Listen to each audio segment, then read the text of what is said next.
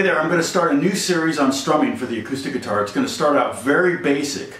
Um, and at the end of this video, I'm going to put um, kind of a strum along with Tom. I'm going to give you some different, on this video particularly, simple grooves. We're going to talk about syncopated and simple grooves in another video. But in this video, we're going to stick to very simple concepts, understanding um, quarter notes, eighth notes, sixteenth notes, things like that. Okay, uh, first things first, this, the guitar is a Martin. It's an old Martin. Um, doesn't even have Martin on the headstock, that's how old it is. It's a 1924 uh, 028 Koa, very cracked. You can see it's very old. And uh, I love it. It's a great little strummer. Uh, it has a great kind of a, a, warm tone to it. I really like that. So perfect for this video. Um, I'm using a, what for me is a thin pick, but it's actually a Dunlop, uh, uh Dunlop nylon pick, USA nylon one millimeter. Uh, you could use a thinner pick than that, but I would suggest using, when we're doing the strumming um, lesson, I would suggest using a thinner pick. Um, one, the main reason is with a thicker pick, if you're holding it too tight, you're going to snag the strings like a fish hook. Um, and so two things, you want, I, I, I, I like using a thinner pick for strumming and I also hold it very loosely. So if you were to be here with me now and I would say, hey, take this pick out of my hand, you would have no problem because I'm holding it very loosely. You could just grab it right out of my hand. Now if I was soloing, um, not only am I holding it loosely, I'm also exposing quite a bit of the pick. I'm not choking down on the pick. Um, so I'm, I'm just like that much pick is exposed. And then, but if I was soloing, then I would choke down on it, use very little pick and create what would be, because I'm choking down on it so much, it would create more of a, more of a hard, heavy pick feel. So, okay, now, we're going to talk about three things. Uh, we're going to talk about quarter notes, eighth notes, and sixteenth notes. And when you hear a, a musician, a band count off one, two, three, four, they're counting off quarter notes. Um, I've got a metronome. I would suggest getting a metronome. You can get the old kind that go tick-tock like this. Uh, you can get one of these. I'll put some links to this one below and um, also cheaper ones because I think this one's uh, I think 50 bucks or something. So this is a Boss Dr. Beat DB60. Um, and so basically I've got it set at 100 quarter notes. One, two, three, four. Those are quarter notes. So what I want to do is I just want to take, let's take an E chord and the reason I want to use an E chord is because I, I want to have all six strings in play. I don't want you to have to think about moderating your right hand to only play five strings or only play four strings. So we're just going to bang out some six string chords. We're going to do E and we're going to do G and E minor. Okay? So let's, we're just going to do E until you're going to get tired of hearing an E chord. I apologize, but maybe every now and then I may suss it. I may add my pinky here and make it an E sus, just so we're not going insane, okay? But um, if you want, you can strum along with me right now, but this is gonna be quarter notes at 100. 100 beats per minute, BPM. Three, four.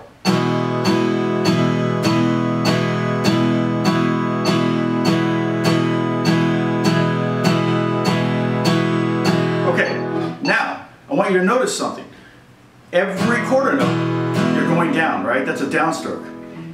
In order to do another downstroke, we're not doing a Pete Townshend windmill where we're going all the way around and we're only doing downstrokes.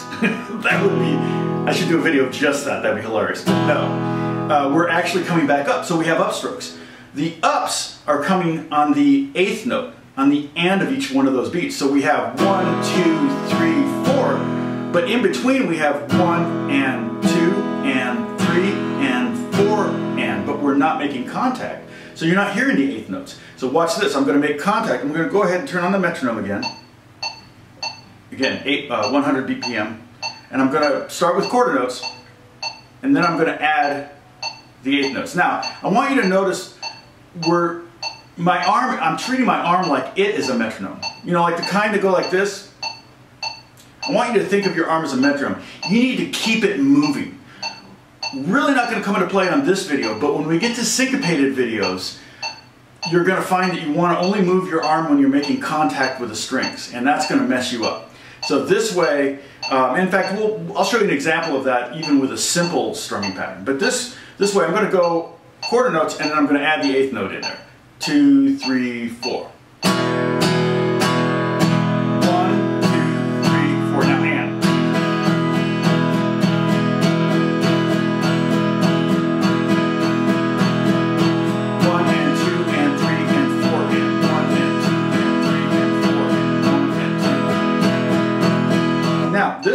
Actually has, I can add in the eighth note there. So you can make sure that your eighth notes are even. E sus.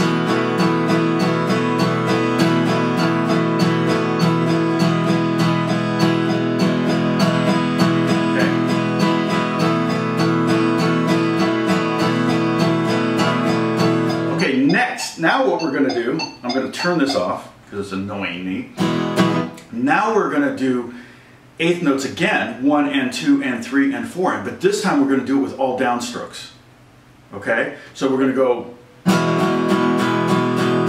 like that, one and two and three and four, one and two and. I'll play it with a metronome, and there's a reason we're going to do this. For one thing, that's a more powerful eighth note. See, this is kind of a light and flighty eighth note,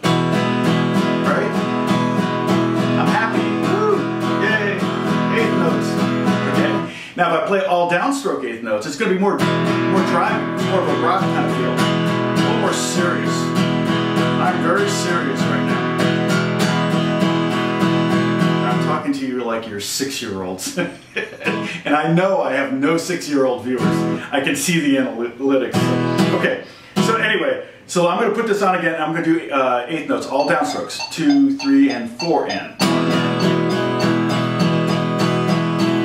Strum all six strings, or you can kind of aim for the bottom four or so. Not precise. Now I'm going to sus it.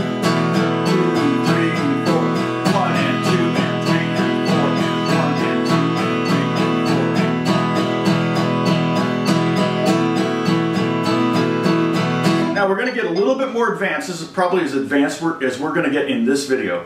But now that we're doing all the eighth notes down, okay, again, we're not doing the Pete Townshend windmill thing where we're coming around and we're only doing downstrokes. In between those eighth notes, we're playing an upstroke. So when we play that upstroke, now we're going to make contact with the strings. So the again, the downstroke eighth notes sound like this.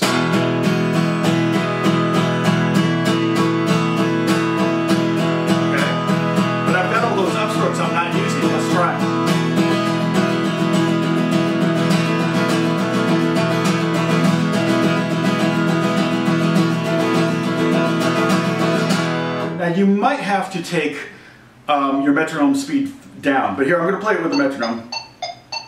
I've got eighth notes. I can add 16th notes in here too. Hear it? There you go.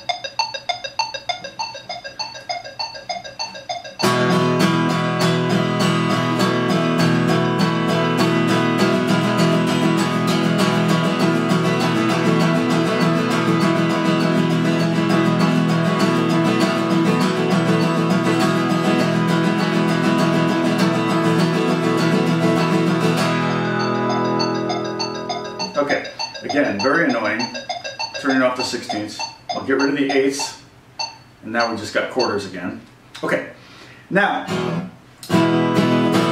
let's go ahead and go to uh, the G and E minor. So we're going to do G. And what I want to do is I want to do eighth notes, uh, a measure of eighth notes. So we're going to 1 and 2 and 3 and 4 and of G, and then go to the E minor. So really, this video is about the right hand, okay? It's about the right hand, it's not about the left hand, but you gotta get them to work together. So we're gonna do a simple change, G to E minor.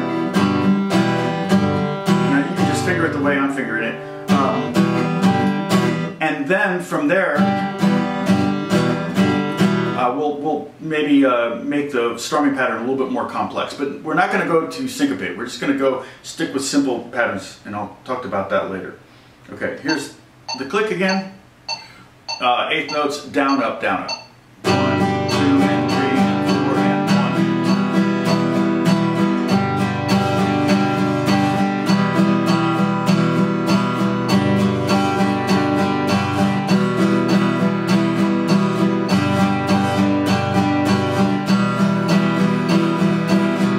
Okay. Now I'm going to change the pattern. We're going to do a pattern that is going to be um, a uh, two quarters and and four eighth notes. Okay, and that's I'm going to play G chord. I'm just going to stay on G chord for now. And that sounds like this: one, two, three, and four, and one, two, three, and four.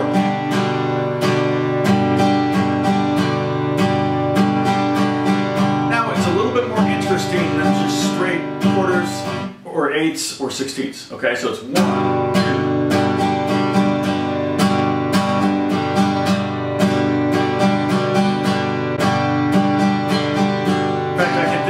Songs that use that groove. And, and that's something else I'm going to do. Part of the series is I'm going to teach the grooves of, of some of the best acoustic songs in the past.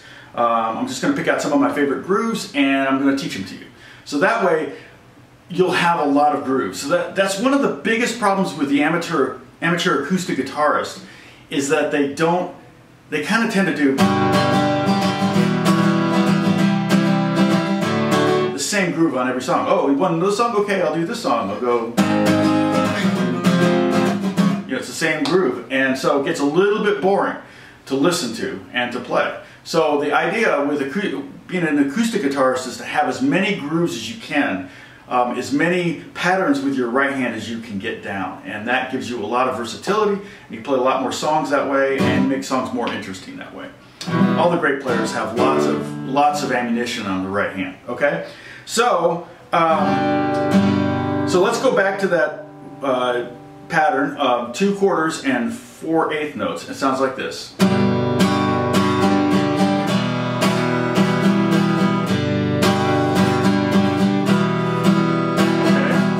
Now I could do a quarter, four eighths, and a quarter, and it would sound like this.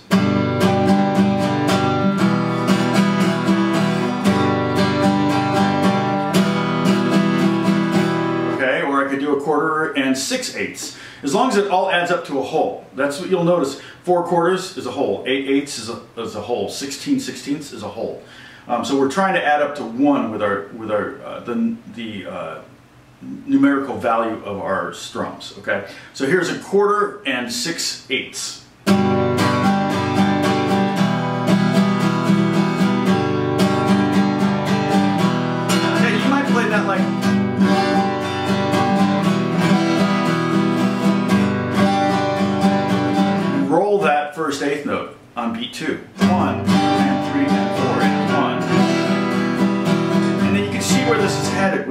Mixing it up, you can immediately start to have some different patterns when you just do all the mathematical variations. I could do six eighth notes and one quarter note, sound like this. Not,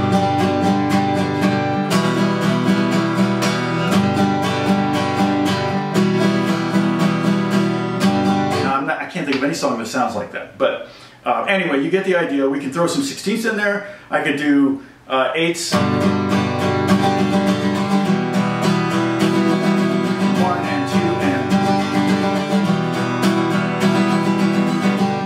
Also, I forgot to mention, when you're counting eighths, you're counting one and two and three and four. And when you're, one way to count sixteenths is one E and uh, two E and uh, three E and uh, four E and there's 16 16th notes. One E and a two E and a three E and a four E and a one E and a. Now you don't need to really do that while you're strumming. I think that's just too many things.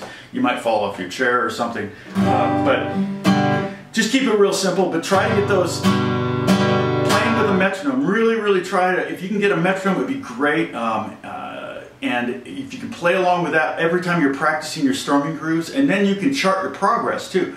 You might have to slow down below 100, you might have to go to 80 or 60 even to be able to do some of the 16th note patterns.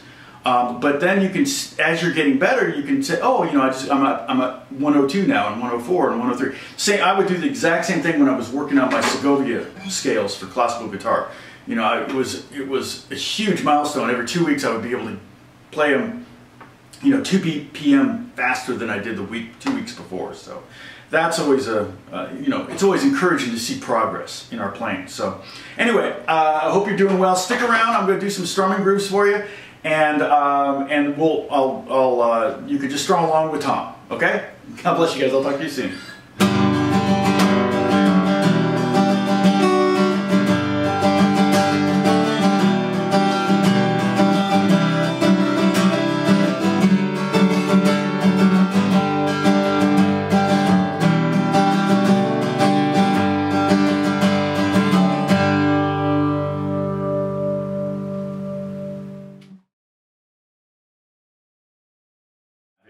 Okay, so but let's get to some simple patterns and I'll just play them for a little while. In fact, I'll use the metronome. Um, I'm going to aim it towards me. We're going to be at 100 beats per minute. And let's just start with an E major chord and then go, well, let's just stay with E major, okay? So we're going to play one, two, three, and four and.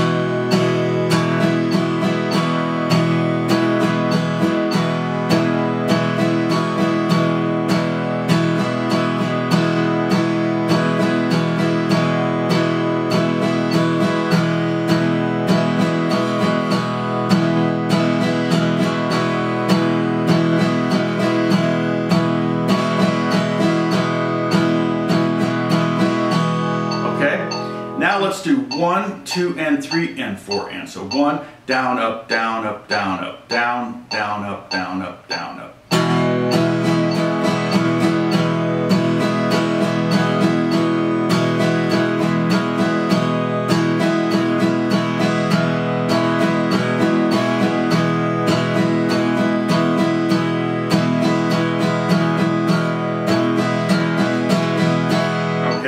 Now let's do, I'm just going to mix it up a little bit. Let's do um, 1, 2, and 3, 4, and 1, 2, and 3. And let's go to the G chord for that, to, just for a change of pace. 1,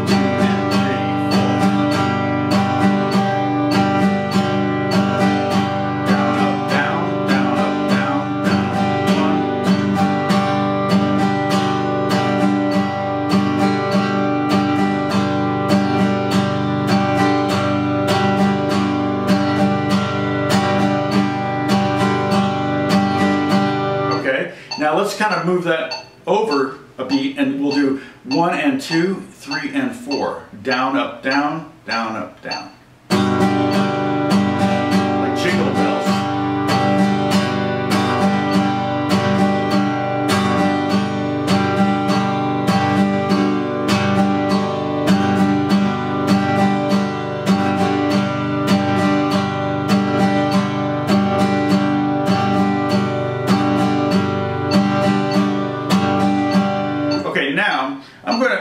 Turn off the metronome for a second. We're going to do the other pattern. The, the, uh, we'll do the first one we did, which was one, two, three, and four. But this time we're going to do it with all downstrokes, okay? So we're going to play the eighth notes with downstrokes. It's going to sound like this.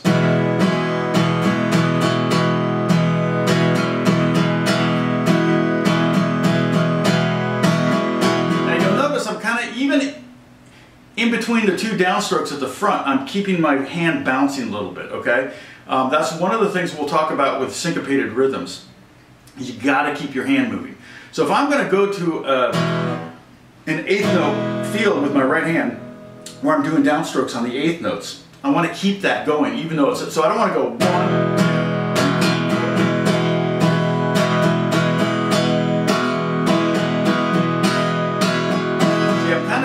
bounce on the end of one and the end of two, but I'm not hitting the string. So it's one,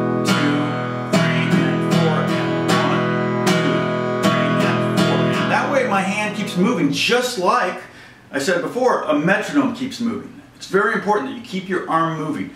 It, if you don't, um, it can look really stiff. Now, looking is looking stiff is not important, but if it looks stiff, it probably feels stiff and it'll sound stiff.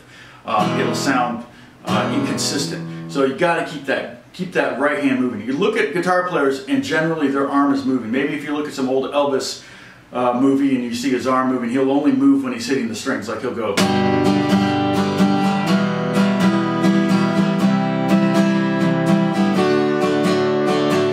But that just feels weird. It's hard to keep track of where you are on the beat, and it's just not proper. It's not the way it should be done. It should be.